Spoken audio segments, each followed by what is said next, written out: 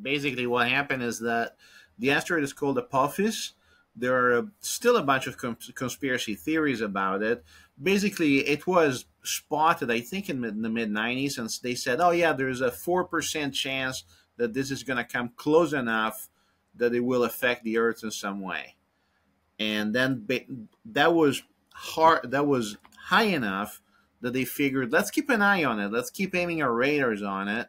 And they did, you know, over the years, they kept an eye on its trajectory. And you have to wait a few years because you cannot predict a trajectory until there's been some movement.